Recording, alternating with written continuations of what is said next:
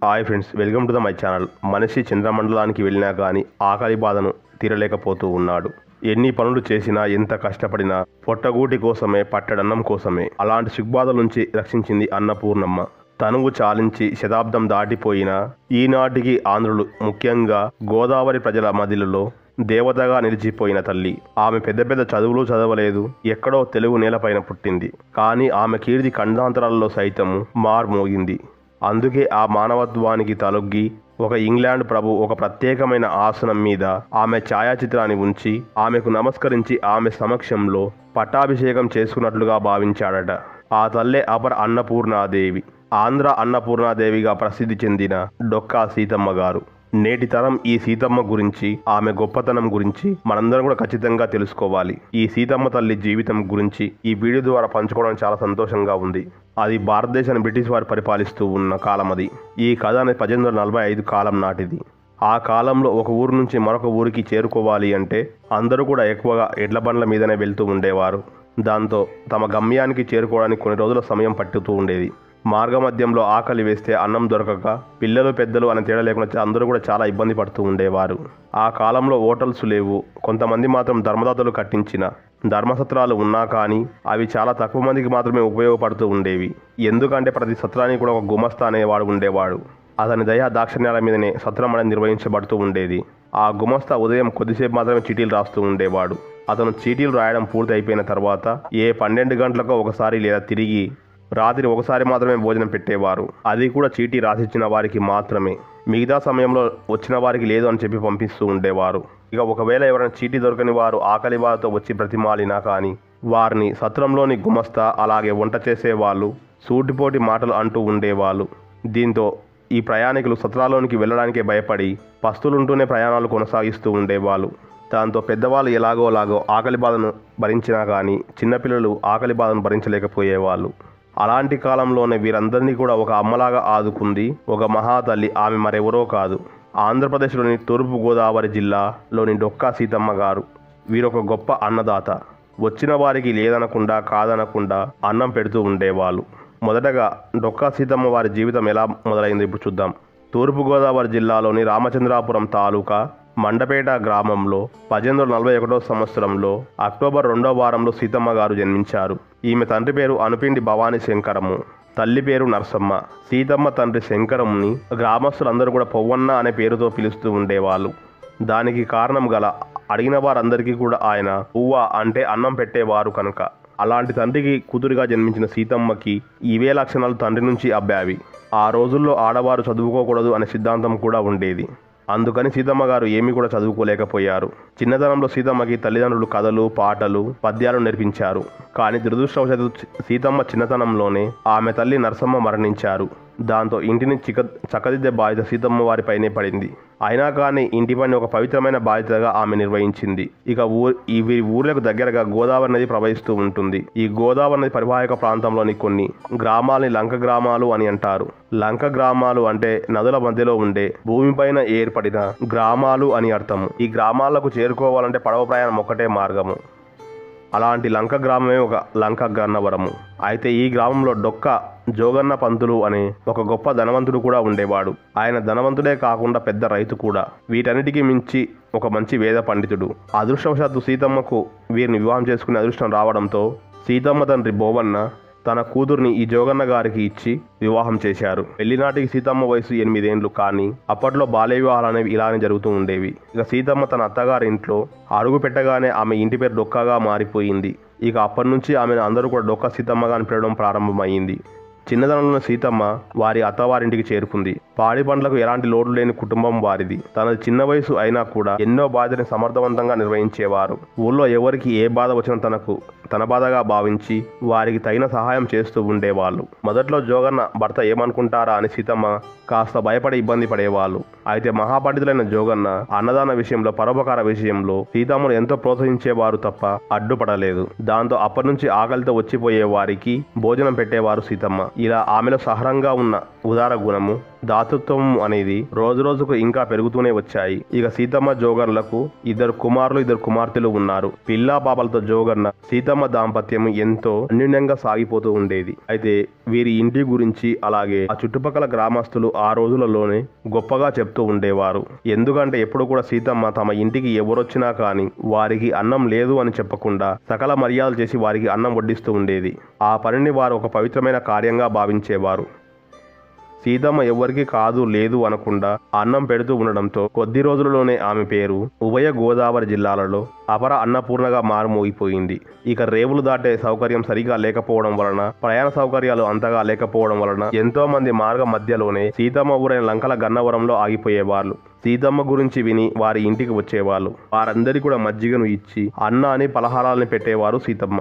సీతమ్మ రోజులో కేవలం ఈ సమయంలోనే అంటే ఈ పూటకి అన్నం పెడుతుందనే ఆలోచన లేదు. రోజులో ఇరవై నాలుగు గంటల్లో ఎవరు వచ్చినా కానీ అవసరమైతే అప్పటికప్పుడు వండి వడ్డించేది. వారి ఆకలి తీరాకే వారిని పంపేది. ఇలా వీళ్ళు ఎన్నో ఏండ్లు చేయడం వలన చివరికి ఆమె ఆరోగ్యం క్రమంగా దెబ్బతింది. అయితే ఆ విషయాన్ని భర్తకు తెలియనియలేదు. ఎందుకంటే మళ్ళీ తనని ఈ పని చేయనీయడేమో అని. కానీ ఆమె క్రమంగా చిక్కిపోవడం గమనించిన జోగన్న సీతమ్మను విశ్రాంతి తీసుకోమని చెప్తూ ఉండేవాళ్ళు. వచ్చిన వారికి భోజనం పెట్టమని మిగిలిన సమయంలో కాస్త విశ్రాంతి తీసుకోమని అనేవాళ్ళు. అయితే వచ్చిన అతిథులకు పేదలకు ఇబ్బంది కలుగుతుందేమో అని తన ఆరోగ్యం బాగానే ఉంది అని చెప్పి సీతమ్మ అన్నదానం చేస్తూనే ఉండేవాళ్ళు. దాంతో ఇక జోగన్న తనకు సహాయం చేయడానికి వంటలలో కొంతమంది వంట బ్రాహ్మణులను కూడా ఏర్పాటు చేశారు. వారే వండి వడ్డిస్తారు అని కూడా చెప్పారు. అయితే సీతమ్మ వారు వండినప్పటికీ కూడా తానే స్వయంగా వడ్డిస్తూ ఉండేది. కన్న తల్లిలాగా అన్ని రకాల వంటలు చేసి వడ్డించి దగ్గరుండి తినిపించేవారు సీతమ్మ.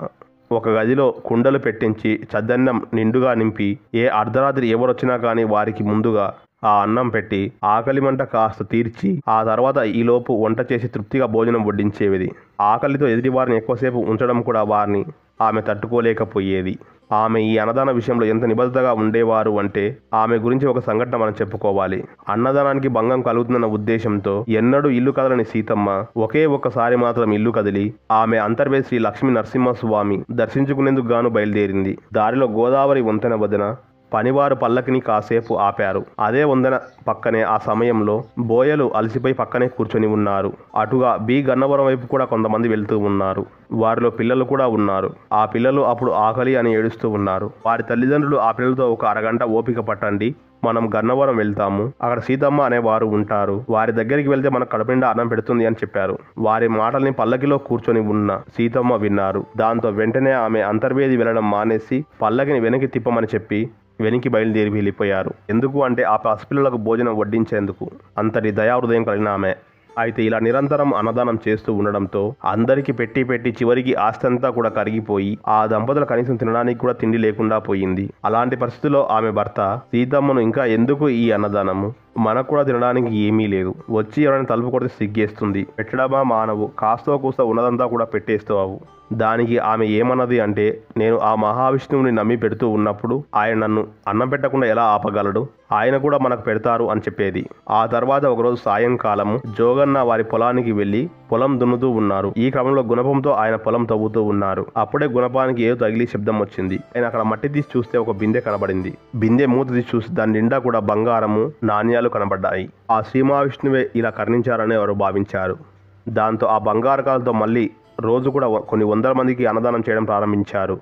ఇక ఇలా కొన్నేళ్ళు గడిచాక పద్దెనిమిది వందల ఎనభై ఒకటి సెప్టెంబర్ నెలలో జోగన్న చనిపోయారు. చనిపోయే ముందు పెద్ద కుమారుడు అయిన సుబ్బరాయుడిని పిలిచి తల్లి చేసే అన్నదాన కార్యక్రమానికి ఎప్పుడూ కూడా భంగం కలిగించవద్దు అని తల్లి మాటకు ఎదురు చెప్పొద్దు అని ప్రమాణం చేయించుకొని కళ్ళు మూశారు. భర్త మరణం తర్వాత కూడా సీతమ్మ ఎంతలో బాధలో ఉన్నా కూడా ప్రతిరోజు కూడా అన్నదానాలు చేస్తూ గడుపుతూ ఉండేవాళ్ళు. దాంతో సీతమ్మ గురించి కేవలం వారి ఊరే కాకుండా యావత్ భారతదేశం అంతా కూడా తెలిసిపోయింది. చివరికి బ్రిటిష్ చక్రవర్తులకు సైతం వీరి గొప్పతనము అనేది తెలిసిపోయింది. ఆశ్చర్యం ఏమిటి అంటే అది పంతొమ్మిది వందల రెండు బ్రిటిష్ చక్రవర్తి తూర్పు గోదావరి జిల్లా కలెక్టర్కి డొక్కా సీతమ్మ ఫోటో తీసి నాకు పంపించమని ఉత్తరం రాశారు. దేనికి అని కలెక్టర్ అడగగా చక్రవర్తిగా నేను పట్టాభిషేకం జరిగే సమయంలో ఆవిడకు నీకు ఆవిడకు నేను నమస్కారం పెట్టాలి. కానీ ఆమె నది దాటి రారు కాబట్టి ఆ సమయంలో ఒక సోఫా వేసి ఆవిడ ఫోటో అందులో పెట్టి అప్పుడు ఆమెకు నమస్కారం పెట్టి నేను పట్టాభిషేకం చేసుకుంటాను అని బ్రిటిష్ చక్రవర్తి తన కోరికను మరొక లెటర్లలో పొందుపరిచారు. దాంతో తూర్పు గోదావరి జిల్లా కలెక్టర్ ఒక మంచి ఫోటోగ్రాఫర్ని తీసుకొని ఫోటో కోసం ఆవిడ దగ్గరికి వెళ్తే అప్పుడు ఆమె ఏమన్నారు అంటే నేను ఈ సన్మానాల కోసం ఫోటోల కోసం ఈ సన్మానాల కోసము అన్నదానం చేయలేదు. విష్ణుమూర్తికి అన్నం పెడుతున్నానని మాత్రమే పెట్టాను. దీనికి ఫోటోలు పట్టాభిషేకాలు ఎందుకు? వద్దు అని అన్నారు. దాంతో ఆ కలెక్టర్ అమ్మాయి బ్రిటిష్ రాజుల ఉత్తరము మీరు ఫోటో తీయించుకోకపోతే నా ఉద్యోగం తీసేస్తారు అని బ్రతిమాలుకున్నాడు దాంతో నీ ఉద్యోగం పోతుంది అంటే తీయించుకుంటాను కానీ నీవు అన్నం తినాలి అని చెప్పి సీతమ్మ ఫోటో తీయించుకున్నారు. ఆ తర్వాత బ్రిటిష్ చక్రవర్తి నిజంగానే ఒక సోఫాలో ఆమె ఫోటోను ఉంచి నమస్కరించి పట్టాభిషేకం చేసుకున్నారు. బ్రిటిష్ చక్రవర్తి ఆమెకు ధన్యవాదాలు చెప్తూ సీతమ్మకు పంపించిన లెటరు అనేది వారి కుటుంబ సభ్యుల దగ్గర నేటికి కూడా ఉంది. ఇలా అన్నదానం చేస్తూ ఉన్న సీతమ్మకు పంతొమ్మిది వందల ఎనిమిదిలో అనగా అరవై ఎనిమిదేళ్ళ వయసులో ఆమెకు క్యాన్సర్ అనేది వచ్చింది. పెద్ద వైద్యం చేయించాలని ఆమె కొడుకులు ఎంతగానో ప్రయత్నం చేశారు. కానీ సీతమ్మ అందుకు ఒప్పుకోలేదు. ఇక చివరి రోజుల్లో సీతమ్మ తన కొడుకుతో ఇలా చెప్పారు. నేను చనిపోయిన తర్వాత నీకు ఎన్ని కష్టాలు వచ్చినా కానీ అన్నదానం మానుద్దు. అన్నం పెట్టేటప్పుడు కుల మతం ప్రాంతము జాతి ఏది కూడా చూడవద్దు. వాటిని మనం ఏమాత్రం పాటించకూడదు. అన్నదానాన్ని మించినది మరొకటి లేదు. నీవు అన్నదానం చేస్తూ ఉంటావని మాటి బాగుంది ఇక క్యాన్సర్ వచ్చిన సంవత్సరం తర్వాత ఏప్రిల్ ఇరవై ఎనిమిది పంతొమ్మిది వందల తొమ్మిదిన అరవై తొమ్మిదేళ్ళ వయసులో సీతమ్మ గారు మరణించారు. ఆ తల్లిని చివరిచూపు చూసేందుకు ఎన్నో ఊర్ల మంది ప్రజలు కన్నబిడ్డలాగా ఏడుస్తూ పరిగెత్తుకుంటూ వచ్చారు. ఇక సీతమ్మ మరణానంతరం తమ తల్లికి ఇచ్చిన మా- మాట ప్రకారం సుబ్బారాయుడు అన్నదానాలను కొనసాగిస్తూ వచ్చారు. ఎన్నో భూములను అర్జనుల వాళ్ళకు ఇచ్చేశారు. ఆమె గొప్పతనం సేవా గుణాన్ని అప్పటి ప్రభుత్వము సైతం కూడా గుర్తించాయి. దాంతో రెండు దశాబ్దాల క్రితం వరకు తెలుగు పాఠ్య పుస్తకాల్లో పాఠంగాను సీతమ్మ తల్లి జీవిత కథ ఉండేది. కానీ ఇప్పుడు మాత్రం లేకుండా చేశారు. ఇక సీతమ్మ సేవలు గుర్తించి కొన్నేళ్ళ క్రితము గన్నవరంలో సీతమ్మ వారి శిలా విగ్రహాన్ని స్థాపన చేశారు.